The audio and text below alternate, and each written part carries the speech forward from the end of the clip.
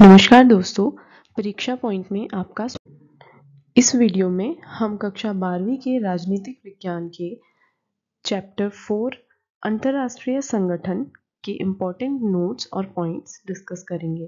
तो चलिए चलते हैं। तो इसमें हमारा सबसे पहला टॉपिक है कि हमें अंतर्राष्ट्रीय संगठन की क्यों ज़रूरत है। तो अंतर्राष्ट्रीय संगठन के रूप में अभी संयुक्त राष्ट्र जो है, दुनिया का सबसे महत्वपूर्ण संगठन है हमारे पास। और ये क्या काम करता है कि युद्ध और शांति के जितने भी मामले हैं, उनमें मदद करता है। देशों के बीच जो होने वाले युद्ध हैं, ऐसे इस तरह के जो खतरे हैं, उनसे निपटने की कोशिश करता है। और कोशिश ये रहती है कि ज़्यादातर प्रॉब्लम्स को बातचीत के द्वारा सुलझाने का प्रयास कर लिया जाए। शांतिपूर्ण रास्ता निकाला जाए और अंतर्राष्ट्रीय संगठन की इसी लिए मदद ली जाती है। यह कोई शक्तिशाली राज्य नहीं है। इसके अंतर्गत आने वाले जो भी राज्य हैं, वो ऐसे नहीं है कि बहुत पावरफुल हैं। ये एक संगठन है अंतर्राष्ट्रीय, जिसका प्रमुख कार्य है राष्ट्रों को साथ लेकर चलना और विकास कार्यों में आगे बढ़ना। जितनी भी वैश्विक त्रासदियाँ हैं, वैश्विक ताप वृद्धि ग्लोबल वार्मिंग जो आज के टाइम पे बहुत इंपॉर्टेंट टॉपिक है, और राष्ट्रों का जो टीकाकरण जैसे बहुत ही बेसिक जो कार्य हैं, वो कार्य भी डब्ल्यू के थ्रू जो हमारा यूएनओ है, वो करता रहता है। आगे हम पढ़ेंगे कि वैश्विक ताप वृद्धि को रोकने के लिए और बड़े औद्योगिक राष्ट्रों को सहयोग पहुँचाने के लिए भी जो है संयुक्त राष्ट्र संघ जो है हमेशा मदद करता है। सहयोग को बेहतर कैसे किया जाए? कौन सा तरीका है कि सहयोग को बेहतर किया जाए? जब तक संयुक्त राष्ट्र संघ नहीं था तो कुछ मुद्दों पर निर्णय लेना थोड़ा मुश्किल हो गया था। जैसे कि जो सदस्य देश हैं किसी भी संगठन के, वो अपने कार्य को लेकर, जो भी कार्य वो करवाना चाहते हैं, उसमें होने वाली लागत को लेकर वहाँ पर थोड़ी असहमति बनी रहती थी। ये रहता है कि जो भी लागत है, उसका भार कौन ज़्यादा लेगा? और जो भी कार्य किया जा रहा है, उसका लाभ का बंटवारा किस तरह से होगा? किसको अधिक, किसको कम लाभ मिलेगा? कोई अपनी बात को, बात से पीछे तो नहीं हट जाएगा। इस तरह के मुद्दे थे जिन पर सहमति ही नहीं बन पाती थी। तो इसके बाद अंतर्राष्ट्रीय संगठन के सहयोग से इन उपायों और सूचनाओं को जुटाने में मदद मिलती है। एक ऐसा रूपरेखा बनाई जाती है जिससे सदस्यों को ये विश्वास रहे कि अगर वो किसी पर्टिकुलर काम में लागत लगा रहे हैं तो सदस्य देशों को उसका फ़ायदा भी मिलेगा और जो बंटवारा होगा, कार्य का, वो न्यायोचित होगा। और समझौते में जितने भी शामिल होने वाले सदस्य होते हैं, उनको ये नियम और शर्तें माननी होती हैं। मतलब सब कुछ नियमित रूप से किया जाने लगा। अगला पॉइंट है, संयुक्त राष्ट्र संगठन का विकास किस तरह से हुआ? तो पहला विश्व युद्ध जब हुआ तो अंतर्राष्ट्रीय संगठन की मांग उठने लगी कि इस तरह के इश्यूज़ नहीं होने चाहिए या इस तरह का झगड़ा हो कैसे गया। तो ये जैसे ही ये मांग उठी तो इन सभी झगड़ों के निपटारों के लिए जो है लीग ऑफ़ नेशंस का संगठन, एक अंतर्राष्ट्रीय संगठन था, ये पहले बनाया गया। और इसके बनने के बाद भी जो है द्वितीय विश्व युद्ध हो गया। तो जो, ऐसा माना जाने लगा कि जो संगठन द्वितीय विश्व युद्ध होने से नहीं रोक सका, वो क्या ही यू नो विश्व की रक्षा करेगा या उसको साथ लेकर चलेगा। तो इस विफलता के बाद, दूसरे विश्व युद्ध के बाद 1945 में इसे स्थापित किया गया। किसे? संयुक्त राष्ट्र संघ को। इसमें उस समय पे इक्यावन देशों ने दस्तखत किए और इसकी स्थापना की गई। 2011 में इसके साथ कितने सदस्य देश जुड़े? 19 देश इसके साथ हो गए। इसका लक्ष्य क्या है? अंतर्राष्ट्रीय अशांति को रोकना और राष्ट्रों के बीच जितना हो सके सहयोग स्थापित कर सकना और ऐसे देशों में सुलह कराना जो एक्सपेक्टेशंस हैं कि आगे चलकर युद्ध कर सकते हैं। इसका अगला पॉइंट है कि जितना भी आप देखेंगे कि अधिकांश जो भी युद्ध हुए हैं, वो किस तरह के मुद्दों पर हुए या तो सामाजिक मुद्दे हुए या फिर आर्थिक अभाव के मुद्दे किसी भी राष्ट्र के बीच में युद्ध का कारण बनते हैं। तो संयुक्त राष्ट्र ने जड़ से काम करना शुरू किया और जितने भी आर्थिक और सामाजिक विकास वो दे सकता था, देने के प्रयास आज भी जारी हैं।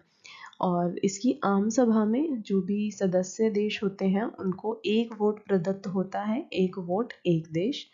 और इनकी सुरक्षा परिषद के जो पाँच राष्ट्रों को स्थायी सदस्यता दी गई है। अब ये स्थायी सदस्य देश कौन कौन से हैं, ये बहुत ही इम्पोर्टेंट पॉइंट है। अमेरिका, रूस ब्रिटेन, फ्रांस और चीन। ये पाँच देश आपको ज़रूर से याद होने चाहिए। संयुक्त राष्ट्र का प्रतिनिधि कौन होता है? महासचिव। और इस टाइम पे यूएन के महासचिव कौन है? एंटोनियो गुतरेस इनको कब पद संभालने के लिए मिला? 2017 एक जनवरी 2017 को। इससे पहले ये क्या थे? 1995 से 2002 तक पुर्तगाल के प्रधानमंत्री थे और 2005 से लेकर 2015 तक ये यूनाइटेड नेशंस में ही high high commissioner for refugees रह चुके थे। शरणार्थियों के लिए जो हाई कमिश्नर का एक संगठन है, उसमें ये रह चुके थे। आगे है, संयुक्त राष्ट्र की शाखाएँ और एजेंसियाँ कितनी हैं। तो ये जो है अभी महासभा और सुरक्षा परिषद, ये तो इम्पोर्टेंट है ही। इसके साथ साथ W H O U N D P United Nations Development Programme U N H R C United Nations Human Right Commission U N H C R United Nations High Commission for Refugees UNICEF United Nations Children's Fund UNESCO United Nations Education Social and Cultural Organisation इसके अंतर्गत शामिल हैं। संयुक्त राष्ट्र संघ की स्थापना के क्या उद्देश्य रहे? तो वैश्विक स्तर पर होने वाली जितनी भी त्रासदियाँ हैं, युद्ध है, उनको नियंत्रित, उनको नियंत्रण में लाना, महामारी या जितने भी रोग हैं, आपने देखा होगा, वर्ल्ड में जब कोविड नाइन्टीन फैल रहा था, तब यूनाइटेड नेशंस की ही एक ऑर्गेनाइजेशन है, W H O, World Health Organisation, उसने बहुत ही सक्रिय भूमिका निभाई। विश्व के सभी आपसी मतभेदों को बातचीत के द्वारा सुलझाना, यानी युद्ध ना हो किसी भी तरह से, और ऐसे देशों को सहयोग प्रदान करने का ये काम करता है। युद्ध की स्थिति अगर आ जाती है तो इसके दुष्प्रभावों को किस प्रकार से कम किया जाए, और विश्व के जो भी देश हैं, वो एक दूसरे के साथ आर्थिक और सामाजिक संभावनाओं को बढ़ाएँ और एक दूसरे की हेल्प करें। इन सभी मुद्दों पर वैश्विक स्तर पर बैठकें करके ऐसे सुझाव पेश किए जाते हैं, और यही है संयुक्त राष्ट्र संघ के प्रमुख कार्य। हमारा अगला टॉपिक है संयुक्त राष्ट्र संघ की एजेंसियाँ और WHO इसमें सबसे ज़्यादा इंपॉर्टेंट है। विश्व स्वास्थ्य संगठन यानी वर्ल्ड हेल्थ ऑर्गेनाइजेशन विश्व में स्वास्थ्य संबंधी जितनी भी समस्याएँ हैं, उन पर सहयोग और सुझाव पेश करती है। इसकी स्थापना कब हुई थी, ये आप ज़रूर से कहीं पर लिख कर रख लेना। सात अप्रैल 1948 को इसकी स्थापना की गई। इसका मुख्य उद्देश्य है वैश्विक स्वास्थ्य को ऊँचा उठाना, जैसे कि कोविड में अभी आपने देखा, एक बहुत ही सक्रिय भूमिका डब्ल्यूएचओ ने निभाई। इसका मुख्यालय कहाँ पर है? जिनेवा, स्विट्जरलैंड में। एग्ज़ाम में वन वर्ड आंसर्स में ज़रूर पूछ लिया जाता है। भारत भी इसका सदस्य देश है? हाँ बिल्कुल। विश्व स्वास्थ्य संगठन, यानी डब्ल्यू सरकार के कहने पर स्वास्थ्य सेवाओं को मज़बूत करने का कार्य करता है। अगला ऑर्गेनाइजेशन है UNESCO, United Nations Educational, Social and Cultural Organisation. इसकी स्थापना कब हुई? 4 नवंबर 1946 को। कहाँ इसका मुख्यालय है? फ्रांस के पेरिस में। और इसका मुख्य उद्देश्य है शिक्षा, प्राकृतिक विज्ञान, समाज, मानव विज्ञान, संस्कृति और उन्नत विज्ञान में आगे की ओर बढ़ते रहना। सदस्य देशों के बीच साक्षरता का प्रसार करता है, शैक्षणिक प्रशिक्षण आदि देता है और इस तरह के अनेकों कार्य। भारत को 1946 में यूनेस्को का सदस्य बनाया गया। इसका एजेंडा 2030 इसमें क्या है कि इस वर्ष तक 2030 तक जितने भी हमारे सतत विकास के लक्ष्य हैं, इनको प्राप्त करना इसे महासभा में 2015 में अपनाया गया। इसके तहत इंटरनेशनल जियोमंडल वैश्विक जल आंकलन इंटरनेशनल बेसिक साइंस प्रोग्राम आदि चलाए जा रहे हैं। ये प्रोग्राम्स बहुत इंपॉर्टेंट है। एग्ज़ाम्स में पूछे जा सकते हैं। अगला ऑर्गेनाइजेशन है UNICEF United Nations Children's Fund UNICEF की स्थापना किस वर्ष में हुई? 1946 में। और इससे पहले इसको किस नाम से जाना जाता था? ये जानना भी इम्पोर्टेंट है, क्योंकि कभी कभी पूछ लिया जाता है इसे संयुक्त राष्ट्र की, का बाल आपातकालीन कोष। इसको पहले इस नाम से जाना जाता था, जो बच्चों के लिए क्या करता था? आपातकालीन फंड इकट्ठा करने का काम करता था। इसका प्रमुख कार्य आज के समय में क्या है? विश्व के जितने भी बच्चे हैं, उनका विकास करना और उनके लिए पूंजी जमा करना। बच्चों के स्वास्थ्य और उन्नति के लिए कार्य किए जाते हैं इसमें और सहायता प्रदान की जाती है देशों की। अभी यूनिसेफ में तकरीबन कितने देश हैं? 193 इसके सदस्य देशों में काम कर रहे हैं। ये एक और अलग इंपॉर्टेंट टॉपिक जिसमें कि संयुक्त राष्ट्र के छह इंपॉर्टेंट अंग, महासभा, सुरक्षा परिषद, अंतर्राष्ट्रीय न्यायालय, सचिवालय, आर्थिक और सामाजिक परिषद, न्यास परिषद। न्यास परिषद एज यू नो अब नहीं है कार्य में। तो यूएन का सबसे इम्पोर्टेंट और पहला अंग है महासभा। इसमें संयुक्त राष्ट्र में जितने भी सदस्य देश हैं, वही लोग, वही देश जो हैं, महासभा के भी सदस्य देश हैं, जिन्हें समान मताधिकार प्राप्त है, यानी वन नेशन वन वोट इसका अधिवेशन एक साल में एक बार बुलाया जाता है, जो कि सितंबर महीने में होता है। महासभा द्वारा क्या होता है, संयुक्त राष्ट्र के जितने भी सदस्य हैं, उनका वित्तीय योगदान कितना है संयुक्त राष्ट्र में? इसका निर्धारण कौन करता है? महासभा। संयुक्त राष्ट्र का बजट भी महासभा ही तय करती है। सुरक्षा परिषद के साथ मिलकर महासभा ही अंतर्राष्ट्रीय न्यायालय के जितने भी न्यायाधीश हैं, उनकी नियुक्ति और निष्कासन का कार्य करती है। महासभा किसके साथ मिलकर? सुरक्षा परिषद के साथ मिलकर किसका चयन करती है? जितने भी हमारे अंतर्राष्ट्रीय जो न्यायालय हैं, उसके न्यायाधीश, उनकी नियुक्ति का और उनके निष्कासन का कार्य किसका है? महासभा का। अगला और वेरी इंपॉर्टेंट सुरक्षा परिषद। इसे संयुक्त राष्ट्र संघ की कार्यपालिका कहा जाता है। इसका मुख्यालय कहाँ पर है? न्यूयॉर्क में। 1965 में एक चीज़ हुई। कि इसके अस्थायी सदस्यों की संख्या 1965 से पहले क्या थी? 11 जिसको बढ़ाकर कितना कर दिया गया? 15 और क्या ऐड ऑन हुआ कि इसमें पाँच जो है स्थायी सदस्य होंगे और अस्थायी सदस्यों की संख्या होगी 10 और सुरक्षा परिषद के स्थायी सदस्य कौन कौन हैं? ये सभी जानते हैं। इनको वीटो पावर भी मिली हुई है। अमेरिका, रूस, चीन, ब्रिटेन और फ्रांस। ये देश विश्व में शांति जो है, उसका, उसकी स्थापना करेंगे और अगर वीटो का इस्तेमाल करते हैं तो ये बड़े से बड़े फैसले को भी रोक सकते हैं। कैसा भी बड़ा फैसला हो, अगर अस्थायी सदस्यों ने और चार स्थायी सदस्यों ने उसके फेवर में वोट किया है, लेकिन किसी एक सदस्य ने भी उसके अगेंस्ट वीटो का यूज़ कर लिया है तो वो फैसले पे डिसीज़न नहीं होगा और वो रद्द कर दिया जाएगा। अगला है अस्थायी सदस्य। अब इसके दस अस्थायी सदस्य भी तो हैं। उनका चुनाव कितने वर्षों के लिए होता है? दो वर्षों के लिए। और दोबारा उन्हीं देशों का तुरंत बाद चुनाव नहीं किया जा सकता। क्यों? क्योंकि चुनाव के लिए विश्व के जितने भी देश हैं, सबको मौका प्रदान किया जाता है। मतलब अभी भारत मान लो this is just for example Bharat मान लो सुरक्षा सुरक्षा परिषद का अस्थायी सदस्य है और दो साल उसको कंप्लीट हो गए। तो अभी कुछ सालों तक वो दोबारा से अस्थायी सदस्य बनने की योग्यता नहीं रखता, क्योंकि सुरक्षा परिषद और देशों को भी मौका प्रदान करती है। प्रत्येक अस्थायी देश के पास केवल एक ही मत होता है और इन देशों को वीटो पावर नहीं दी जाती। ठीक है? इनकी कार्य शक्तियाँ क्या होती हैं? सुरक्षा परिषद के कार्य में अंतर्राष्ट्रीय सुरक्षा और शांति को शामिल किया जाता है। इफ़ कोई भी राष्ट्र इंटरनेशनल लेवल पर सुरक्षा भंग करने की कोशिश करता है तो कौन से अनुच्छेद के द्वारा? अनुच्छेद 41 के माध्यम से उस पर कार्रवाई की जाएगी। क्या कार्रवाई की जाएगी?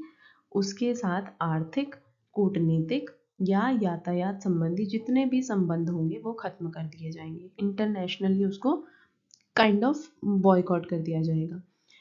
इसके बाद भी यदि वो समस्या का समाधान नहीं हो पाता है तो इसके अगेंस्ट क्या होगा? सैन्य कार्रवाई होगी, किस अनुच्छेद के अंतर्गत होगी? 42 अनुच्छेद के अंतर्गत ये वाला, ये वाली कार्यवाही की जाएगी। आगे है 1992 में इस संरचना के विस्तार के लिए बहस तेज हो गई। ठीक है, इसमें सबसे पहली मांग क्या थी कि सुरक्षा परिषद के जो सदस्यों की संख्या है, उसको बढ़ा दिया जाए। किस तरह के देशों ने ये डिमांड करी? एशिया के जो देश थे, अफ्रीका और दक्षिण अमेरिका के देशों ने ये डिमांड रखी। लेकिन पश्चिम के देशों का क्या क्या डिमांड थी? उनके अकॉर्डिंग इसके प्रशासन और जितनी भी बजटीय प्रणाली है, उसमें सुधारों की मांग पश्चिम के देशों ने रखी। ये याद रखना कि कौन कौन से देशों ने सुरक्षा परिषद के सदस्यों की संख्या को बढ़ाने की डिमांड की थी। तो एशिया ने की थी अफ्रीका ने की थी और दक्षिण अमेरिका ने की थी। पश्चिम के देशों ने क्या डिमांड की थी? कि हमारे को बस बजटीय प्रणाली और प्रशासन के साथ प्रॉब्लम है। ठीक है, आगे है कि सुधार प्रस्ताव में क्या कहा गया। सुरक्षा परिषद के जितने भी निर्णय होते हैं, ऐसा माना जाता है कि वो पश्चिमी राष्ट्रों से समवेयर उनके हित में ये डिसीजंस लिए जाते हैं उनके हितों की सुरक्षा इन डिसीजंस के साथ की जाती है। तो 1997 में महासचिव कौन थे? Kofi Annan. उन्होंने स्थायी और अस्थायी सदस्यों को लेकर कुछ मापदंड दिए कि कौन कौन से देश जो हैं स्थायी या अस्थायी सदस्य बन सकते हैं। वो देश होंगे जिनका सैन्य बजट और आर्थिक रूप से वो देश जो है संपन्न होंगे और यूएन के बजट में उनका अच्छा खासा योगदान होगा। तभी वो सुरक्षा परिषद के स्थायी या अस्थायी सदस्य बन पाएँगे। जनसंख्या की दृष्टि से बड़े होंगे और जो सुरक्षा परिषद को विश्व की विभिन्नता का प्रतिनिधित्व प्रदान करेंगे। मतलब उनके पास बहुत सारी variety of cultures and everything ये सब होगा। आज के समय में कौन है ये इस सब के लिए eligible Bharat, Brazil, Germany, Japan, ये सभी देश जो हैं विश्व शक्ति के रूप में उभर रहे हैं। और क्या डिमांड कर रहे हैं कि हमें भी दो भाई सुरक्षा परिषद में स्थायी सदस्यता, अस्थायी सदस्यता तो सबको ही मिलती है। अगला है अंतरराष्ट्रीय न्यायालय। इसका मुख्यालय कहाँ पर है? नीदरलैंड के हेग में। और कौन से चार्टर के अंतर्गत इसको बनाया गया या इसका आइडिया लिया गया? संयुक्त राष्ट्र के फोर्टीन चार्टर में से। संयुक्त राष्ट्र का कोई भी अंग मान लो डिसीज़न लेने के लिए, किसी भी तरह का डिसीज़न लेने के लिए वो कंफ्यूज है।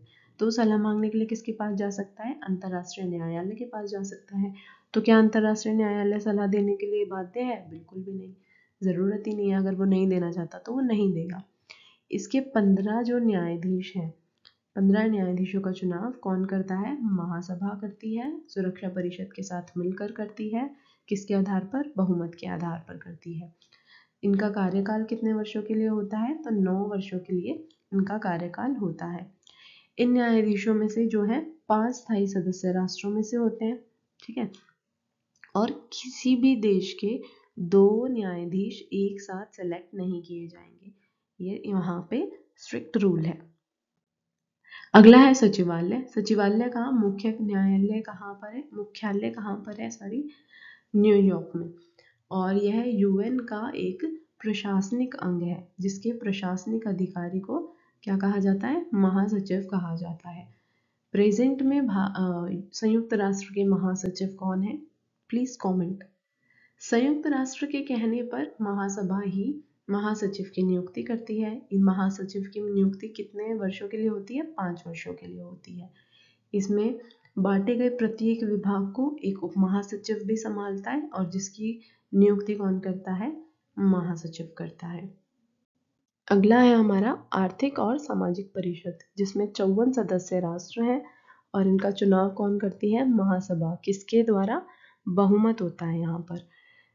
परिषद में हर सदस्य के पास एक वोट होता है और यहाँ पर नॉर्मली जो साधारण बहुमत है, उसके आधार पर हर तरह का डिसीज़न लिया जाता है। हर साल जितने, कितने? 18 सदस्य देश जो है, अपने पद से मुक्त हो जाते हैं, जिन्हें दोबारा चुनाव किया जाता है, जिनका किसके द्वारा? बहुमत के द्वारा। भौगोलिक आधार पर सीटों का जो है, यहाँ पर बंटवारा किया गया है। एशियाई देश कितने आ सकते हैं यहाँ पर? ग्यारह एशियाई देश। अफ्रीकी देश कितने हो सकते हैं? चौदह।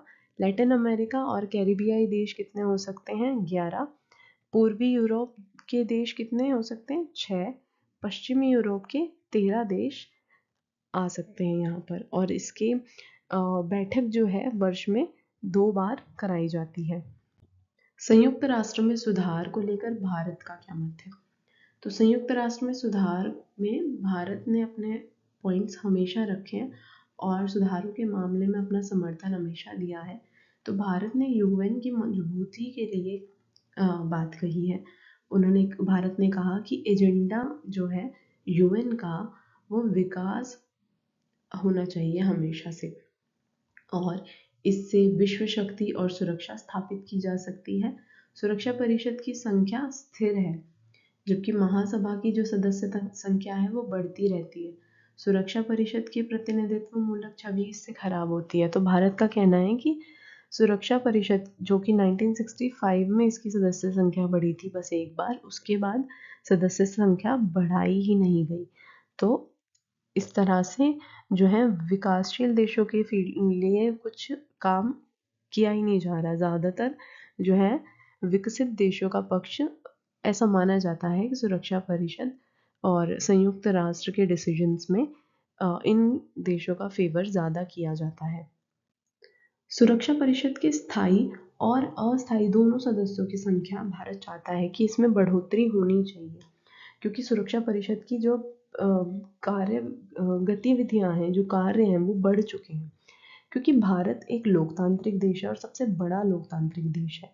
और यूएन के बहुत सारे कार्यों में भी पहलकदमी करता है, हिस्सा लेता है और उसके बावजूद भी सुरक्षा परिषद का स्थायी सदस्य नहीं बन पाया है।